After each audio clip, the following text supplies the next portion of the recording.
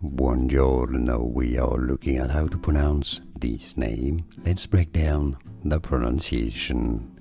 In Italian, it's said as Giuliana, Ju, like J O O, essentially, Ju.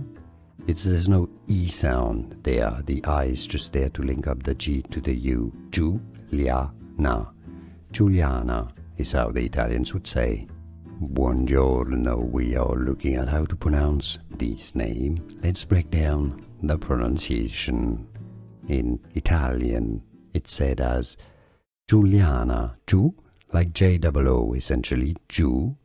It's, there's no E sound there, the I is just there to link up the G to the U. Giuliana. Giuliana is how the Italians would say. Here are more videos on how to pronounce more confusing words and names too many mispronounced. Like this video if you found it useful, I appreciate your support. I'll see you soon and thanks for watching.